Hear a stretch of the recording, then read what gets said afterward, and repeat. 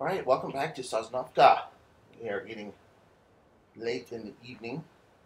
It's 8.30. Our harvest is actually ready to, well, our crops are ready to harvest. Our harvest is ready to harvest. That wasn't working out so hot.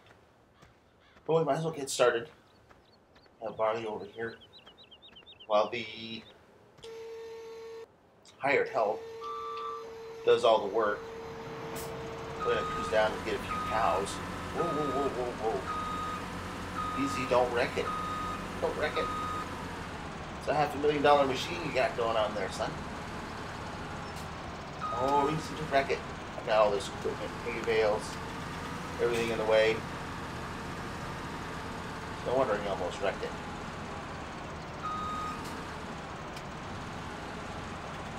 I've been doing a lot of jobs for the locals. Oh, come on. Stupid thing. There we go. And so, uh, several of the fields along this long row.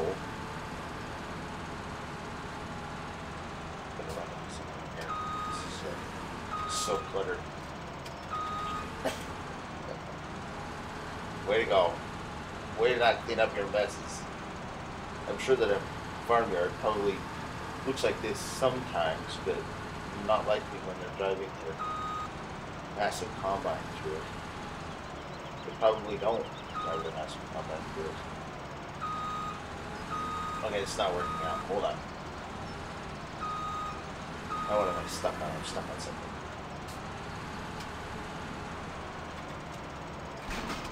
Oh, stupid thing.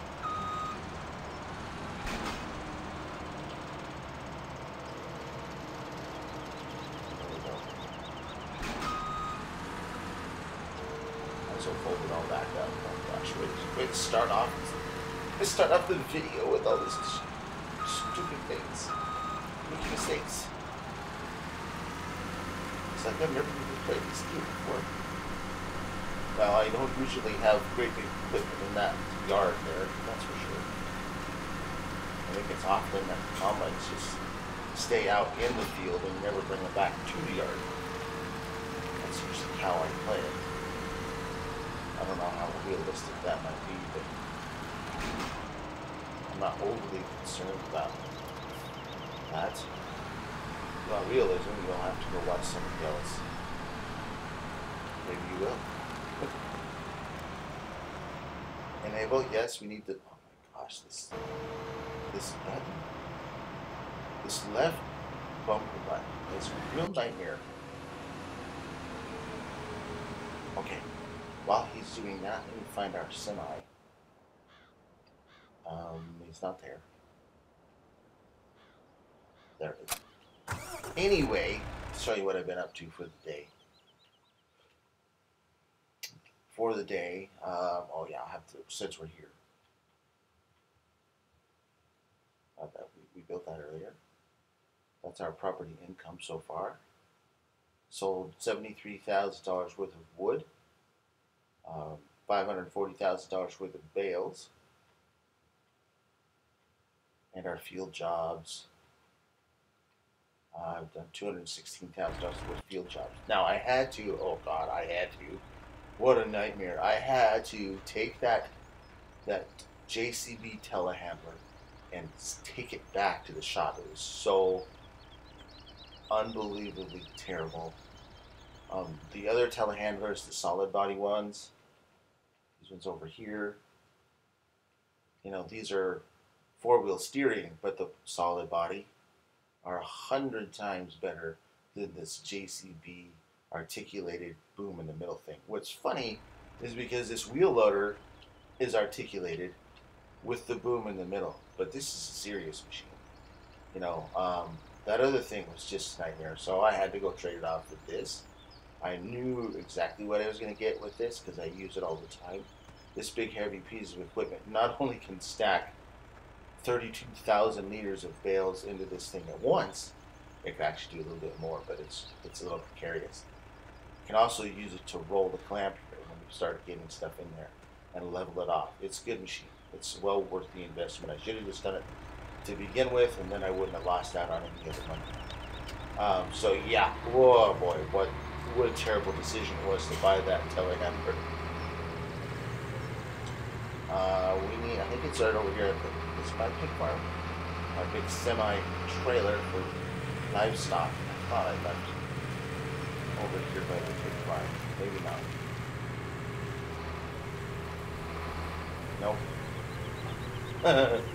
okay, I gotta keep track of all your gear here. Um, where I put it. I have no idea. Other thing that I would like to start working on since we're here are these little community fields, right? So these three little community fields. I can actually right now they're just they're just on the screen as blue cultivated, but I won't be able to well, yeah, if you go down to cultivated. But hired help workers won't work these fields until I plow them up because they're not officially a field. So right along here and this right in here, um, these ones are taken up, of course, because uh, this is where the greenhouses are, stuff like that. Uh, so we won't be doing any of those, but I'd like to start plowing up these little fields right here. Probably put trees there on this one, and probably end up putting wood chips right here instead of using this field here. So anyway, while we're here, um, let's find the trailer. the big semi trailer. Oh wait, it's not on there. Okay, is it listed under a tool? Shouldn't be, but maybe it is. Okay, there it is. Oh, it's over by the animal dealer. It's a good place for it, actually. It's good thinking. Glad I left it there on purpose. Didn't buy there so much, but the grass grew, so I drove around, cut all the grass, baled it up, um, turned it into silage bales. You get twenty six hundred dollars per bale, and that is where all the big money came from. And I'll continue to do that for a while until we can get some of our. I mean, really, silage bales. Might as well do it while you're here. I'm gonna beat the trailer real quick because you, know, some good money. And we're going to need that digestate. We're going to need that digestate to do um, farming with organic fertilizer. At some point or another, there are some crops that won't be doing that way. Probably won't be doing organics with um, potatoes. Um, I've done some research on it, and potatoes need a they usually get a fungicide late um, to prevent some, some fungus that is, the blight, it's called some sort of blight, black blight or something. Anyway, it was responsible for the, the, the great potato famine of, of Ireland, but it actually spread across the entire continent of Europe. Is he going to make it all the way across? So I don't have to drive on the crops. Nope. He's not. Looks like we're going to drive on some of the crops. I try not to do it. I don't have crop destruction on because my own personal feeling is the mod doesn't work, work like it should. Um, and from what I understand is if you're actually doing this out in the real world, the combine operator is going to call ahead and say, hey, you know, I'm almost full. I'm stopping at the edge of the field over here. He's not going to be driving down, you know, if he's getting close to full and he's not on the field, he's not going to drive down the field and destroy all the crops. It's not going to happen. Uh, there are times, obviously, where you might be out there, but I mean, not only does crop destruction destroy your crop, the mod, it destroys all the grass too. So if you're driving on the grass, whoop, no, no, no, I'm not going to follow him around. 12,000 do one more one more full load from him before it has to be emptied. So in the meantime, let's go grab some cattle. Won't be a lot. It'll just be kind of a starter, a bumper to get us going because we need some so we can get the manure and the slurry. But yeah, so like with the potatoes, potatoes are an interesting crop in the game even it's the only one that actually uses liquid fertilizer in the planter or the seeder. So even though sugarcane, you fill sugarcane with granulates, and you have to, sorry, I have to use granulates in anything that requires granulates or I just, or, well, at least the hired help will not be. Where am I going? where are you going? This is where you buy livestock, right here. You put the trailer. So sometimes there's not going to be anything I can do about it. 20 cows, probably do just two loads. Um, no, we're not even going to do two loads because that's $100,000. And going to need some other, we're going to need some cash back. Because we need the forage harvester.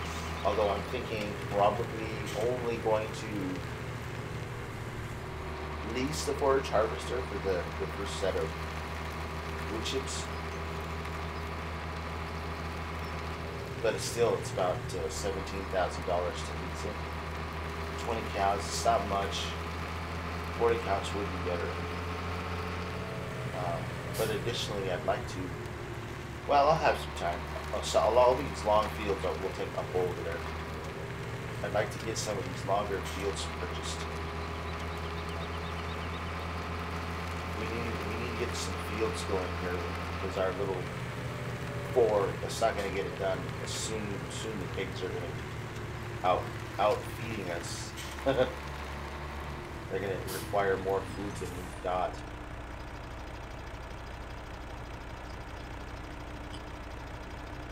Okay. It's not much. It might give us about three thousand dollars of milk. Um, you know what? Back with it. Let's go back. We're gonna get another twenty cows. We're gonna figure it out. There's field jobs to do to make up the money. Not a big deal, especially on the big fields.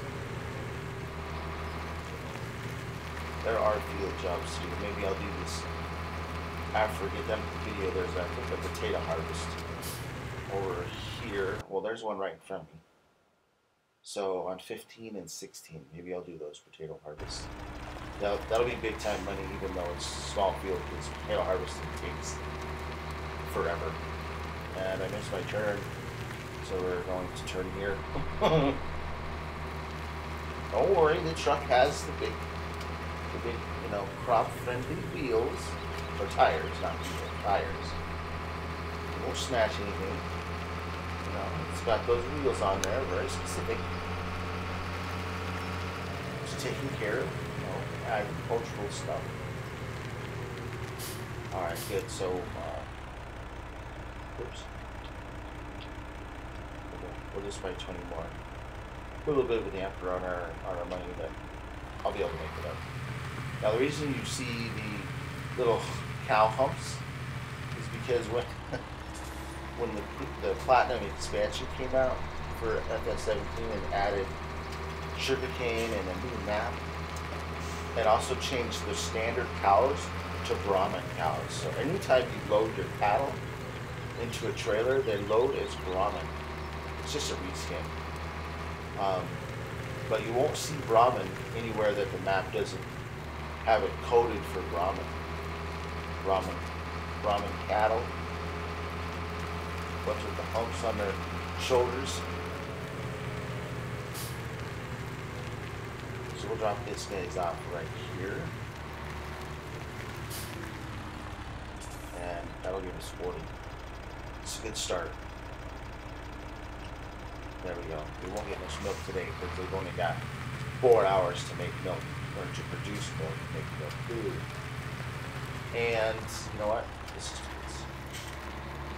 probably better to do this trailer close by instead of a ways. And then we get the harvester over here to get on top of this other field of barley. So I've got, I found a spreadsheet on the internet that shows all the value or all the cost and profit or profit and yeah, cost and profit of all of the crops. And yeah, so actually, in terms of anything that isn't grass or root crop or sugarcane, the most profitable is barley. Barley is the most profitable because you get more crop from barley for the same amount of seed as wheat, and you get just a little bit less straw. Now, the key to straw, of course, is to be able to. So, the spreadsheet had straw listed as selling 70,000 liters of straw, and I to do it all at once at $66, $66 per thousand liter. Um, now, it doesn't even have listed anywhere in Sosnovka what loose straw will cost or what kind of money we'll get for straw. But the total value between the soybeans and barley was $100 for an entire sale. Um, the soybean makes it up because it takes uh, about half as much seed as barley does. Or actually takes 17% less seed than barley does. Um, the other thing is with soybeans, if you so chose, and the higher the soybean value, the closer the numbers get. But this is all depending on a base value of $66 per 1,000 liters of straw. So that's key, right? If you cannot get $66 per 1,000 liters of straw, then of course you can't make that money. And then you run into other scenarios. Um, actually, I think I'd have to go back and look. I just did straw or wheat barley, wheat and barley versus soybeans. But I'll have to look again. I might be completely talking out of my ear here because sunflowers, I think, will actually be the most profitable. Other than, you know, so the most profitable in the base game, other than grass, is sugar beets, followed by potatoes, because you get a huge yield from it. And sugar beets take the same amount of seed as corn does, which is less than wheat and or barley. The only problems that you run into is you do need a special harvester for sugar beets. But if you were going to only do sugar beets, corn and sunflowers, and soybeans, I wouldn't do soybeans because, so if you wanted to come into the game and do only sugar beets, corn, and sunflowers, you would only need one planter, you'd need a cultivator, one planter, a plow. You would need two different harvesters though. Um, yeah, it's uh, was interesting. Now potatoes are a little bit different because potatoes take a lot of seeds, or a lot of um, what do they call them? I can't remember what they call them. Something s- like a seed tuber or some sort like that. I don't know. Anyway, it's not like a seed seed like you, you know, like flowers. It's like little potatoes, little little slices of potatoes or something, and you put that in your plant, and you can see that with the potato plant. So let this guy work on that field. You do need another trailer and a tractor. The other thing, let's get over to the fence here. You see, you cannot unload the seeder, right? So this one has 428 poplars left. I don't have the ability to take those away. Um, so I think best thing to do is to buy another forestry planter that has that you can just use for trees and one for poplars. And here's the poplars. Um, so they're not quite ready yet. Let's take a look at the growth right here. If we zoom in, See, I think they might be ready when the corn is ready here. I'm not sure though. Uh, it, I want to say it takes just a little bit longer. Kind of like potatoes. Potatoes take just a little longer to grow than most of the other crops. The other, the other one, other than trees, of course, the other one, the longest, that's not base game crop, it's sugarcane.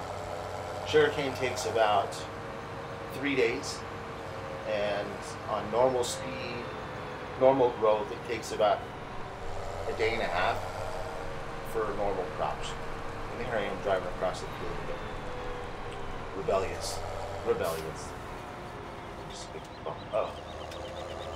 So I do want a different trailer for picking up the straw. Than that articulated one. We're gonna need it anyways. I think I'm pretty sure that this little Fendt can handle a 40,000 liter trailer. That's 21.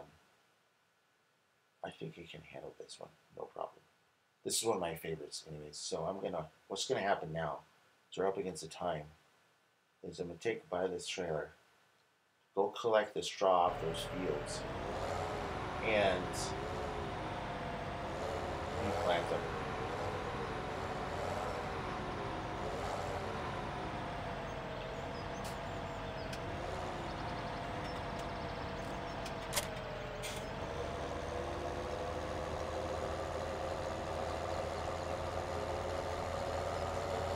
Well, I'm heading off back to the farm. I'm gonna collect the straw like I did before, and then on the next the next video we'll work on those uh, community fields over there that aren't really fields just yet. Just want to say thanks for watching. We'll catch you on the next video.